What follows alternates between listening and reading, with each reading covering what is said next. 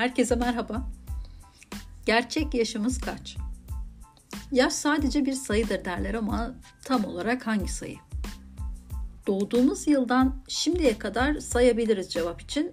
Ancak bu yeterli mi? Ne demek istiyorum? Şunu demek istiyorum. Kronolojik yaşımız yani takvim yaşımız yani nüfus cüzdanınızdaki orada yazan yaş bize çok azını söylüyor aslında. Örneğin her biri 45 yaşında 3 kişi kronolojik olarak aynı görülse de yaşam beklentileri her biri için ayrı olabiliyor. Sağlık, mutluluk ve canlılığa dair parametreler büyük olasılıkla üçü için de önemli ölçüde farklılık gösteriyor. Yaş aldıkça vücudumuz daha az verimli çalışmaya başlıyor ve yaşamın gereği hem iç hem de dış nedenli hasarlar birikiyor. Nedenlerden bazıları doğal süreç olsa da çoğundan kaçınmak veya az etkilenmek aslında mümkün olabilir. Dünya Sağlık Örgütü'ne göre insanlar hayatlarının ortalama son %20'lik bölümünde kronik hastalıklarla uğraşıyorlar. E, bu kronik hastalıklar işte bir tansiyondan, bir astım hastalığından, diyabete, halk arasında şeker hastalığı denen diyabete kadar hatta daha ilerisi Alzheimer, bunama, demans hatta kansere kadar giden bir kronik hastalık skalası olarak düşünün.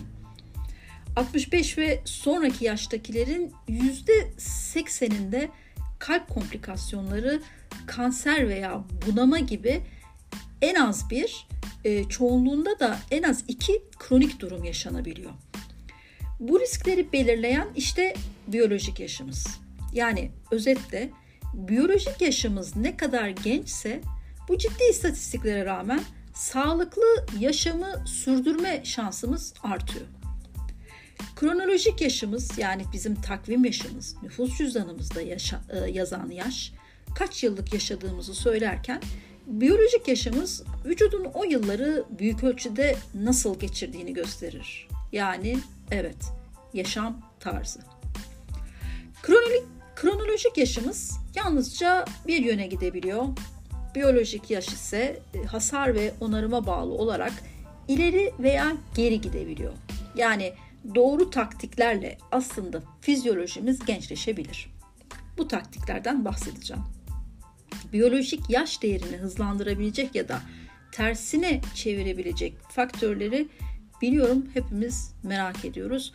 Ama önce kötü haberleri vereyim. Biyolojik yaşı arttıran faktörlere bir bakalım.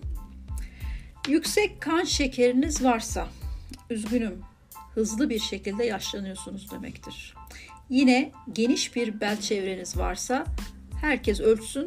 Evet cidden mezura alın ölçün. Bu çok rahat yapabileceğiniz bir şey. Yine koşar adım yaşlanıyorsunuz. Hücresel olarak takvim yaşınızdan, kronolojik yaşınızdan bağımsız biyolojik yaşınız artıyor. Ve eğer bel çevreniz boyunuzun yarısından daha fazla ise biraz alarm zilleri artık sizin için çalıyor demektir. Gereken bütün tedbirleri alın. Şöyle bir kendinizi kontrol edin. Neler yapabilirsiniz diye uzmanlardan da yardım edin. Bu konuyla ilgili de bu podcast kanalında bazı bölümler bulacaksınız. Evet devam edelim. Biyolojik yaşı arttıran faktörlere bakalım. Aşırı çok yoğun bir şekilde yapılan egzersiz ve kompetitif spor. Yani elit spor dünyası da aslında hücresel anlamda çok fazla zorlayıcı bu eforun altında yıllarca bu sporcular bile biyolojik yaş bakımından aslında pek de iyi sayılmazlar. Bazı ilaçlar, aşırı stres, kötü bağırsak bakterileri yani aslında dengesi bozulmuş mikrobiyota diyebiliriz. Yani iyi bağırsak bakterilerinin azaldığı, kötü bağırsak bakterilerinin yükseldiği bir durumda olan bir mikrobiyota bağırsak sisteminde ve çevresel toksinlere maruz kalınan sigara, ağır metal gibi böyle bir durumda aşırı alkolde dolayısıyla karaciğer sağlığını tehdit eden işte bazı ilaçlar dedik yine alkol de bu durumlardan biri. Bu tarz maruziyetler gerçekten biyolojik yaşı arttıran faktörlerin başında geliyor. Tüm bu faktörlerin olumlu ya da olumsuz olarak etkilediği şey aslında e, yani hem biyolojik yaşı azaltan e, iyi faktörlerin hem de biyolojik yaşı arttıran zararlı faktörlerin e, demek istedim. Esasen hangi genlerin etkinleştirileceğine ve hangi genlerin kapatılacağına karar veren epigenetik denen bir süreci bize gösteriyor. Geldiğimiz noktada genlerimizin kaderimiz olmadığını artık biliyoruz. En önemlisi hücrelerimizde DNA metilasyonu denen mekanizma biyolojik yaşımız üzerinde ne kadar kontrol sağlıyorsa günlük seçimlerimizin de yaşam tarzımızın da DNA metilasyonu üzerinde o kadar kontrol sahibi olabileceğini söyleyebiliriz. Neden DNA metilasyonu diyoruz? Bu metilasyon denilen bu biyokimyasal prosesi açmaya gerek yok. Bu bir mekanizma DNA metilasyonu. Burada anmamın sebebi DNA metilasyonun ölçümüyle bu biyolojik yaş tayinine gidilebileceği düşüncesi. Bunu kim atmış ortaya? Elizabeth Blackburn. Blackburn DNA ile biyolojik yaşlanma arasındaki bağlantıyı telomerler olarak bilinen genetik materyal aracılığıyla ilk kez açıklayan kişi. Telomerler ne? Ee, DNA ipliklerimizin ucunda onları yıpranmaya karşı korumak için toplanan e, ancak yaşlandıkça kısalan uzantılardır. Yani ayakkabı bağcığının ucundaki o plastik, o ip dağılmasın diye e, plastik şeklinde yerleştirilen uzantılar aklımıza gelsin. İşte onlar aslında bizim DNA'mızda telomer olarak anılıyor ve yaşlandıkça kısalıyor bu uzantılar. Uzantılardaki hasarlanma ile DNA zincirlerimiz açıkta kalıyor zamanla ve bu e, ne kadar fazlaysa hastalıklara yakalanma riski de o kadar artıyor. Ancak telomerler genel sağlık hakkında çok şey söyleyebilirken bilim adamları onları tek başına ölçmenin gerçek yaşla yalnızca %40'lık bir korelasyon gösterdiğini söylüyor çok uzun zamandır. UCLA'den Dr. Steve Harvard daha da ileri gider. Telomerleri geçerek genomdaki yüzlerce bölgeyi analiz eder. Harvard'ın DNA MH epigenetik saati yani dünyaca bilinen Harvard saati genom boyunca metilasyonun eksiksiz bir analizidir. Sonuç olarak Harvard saati yüzlerce spesifik bölgedeki metilasyon modellerini analiz ederek değişse bile biyolojik yaşamımızı doğru bir şekilde değerlendirebilir. 10 yıl önce Dr. Blackburn'un telomer gözlemiyle başlayan süreç hızla son teknoloji bir bioanaliz sistemine dönüşmüş oldu böylece.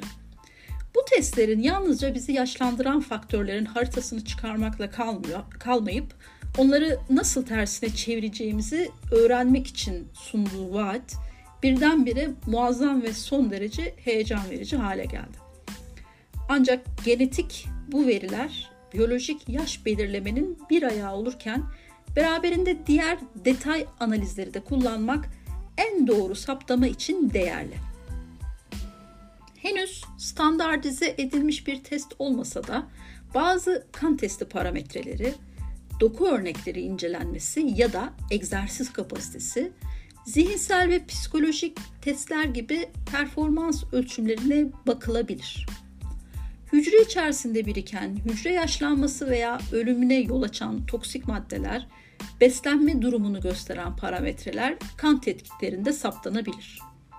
İstirahat halinde kalp hızı, kan basıncı, görme keskinliği, aort damarının esnekliği, kas gücü, nefes kapasitesi gibi değerler dinamik testlerle ölçülebilir.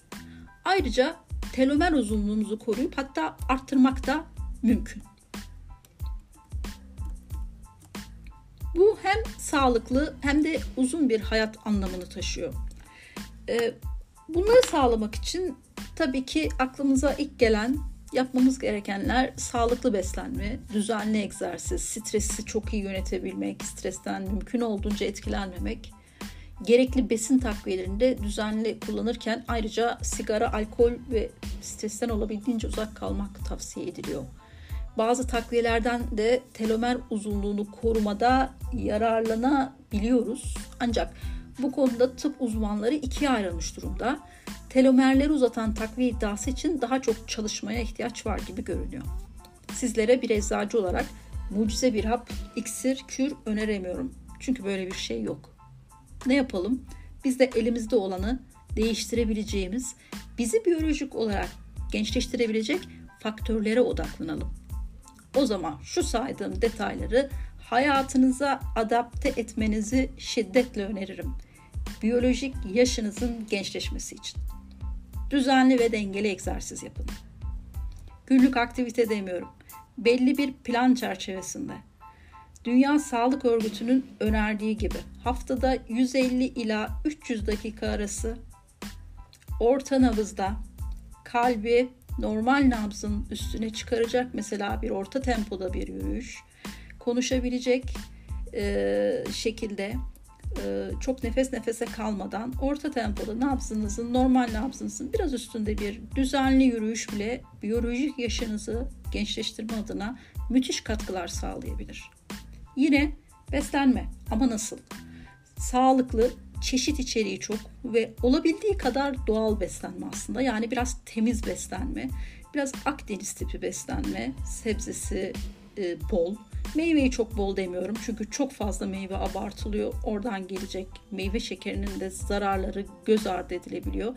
Bir de olabildiği kadar doğal beslenin evet ancak lütfen çok fazla beslenme detayında boğulmayın. Çünkü bunun getireceği stres inanın daha zararlı.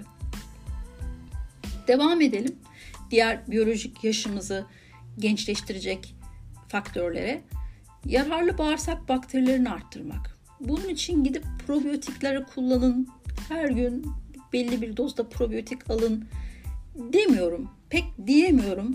E, probiyotik kullanmak daha çok eğer e, kronik bir durum varsa, e, analizle saptanmış bir durum varsa ilgili probiyotik bakteriyi yerine koymak şeklinde bir uzmanın önerisiyle olabilir. Ancak ezbere ben her gün probiyotik takviye kullanmalıyım diye bir şey aklımıza getirmeyelim. Ancak fermente ürünleri mutfağımızda eksik etmemek bile, onlardan yararlanmak bile bizim için yararlı bağırsak bakterilerini arttıran mikrobiyotumuza yapacağımız çok güzel bir destek. Örneğin yoğurt. Her gün bir kase yoğurt tüketebilirsiniz. Evet stresi yönetmek de çok önemli. Biyolojik yaşı gençleştirmek için stres gerçekten bütün kronik hastalıkları alevlendiren bir etken. Ee, bunu artık çok duyuyoruz biz hayatımızda. Stresli bir e, durumda sürekli stres halinde olmak, bunu yönetememek, kortizol hormonumuzun sürekli sahnede olması demek ve bu da vücuttaki birçok problemi tetikleyebiliyor. Bu yüzden stresi mutlaka yönetmeyi öğreneceğiz. Ve gece uykusu 7-9 saat arası kaliteli gece uykusu. Ee, mümkünse karanlıkta, mümkünse soğukta ve uykuya gitmeden 3-4 e, saat önce e, yemeği bitirmiş, sindirimi hazmetmiş bir vücutla ve mümkünse aç gitmek uyumaya.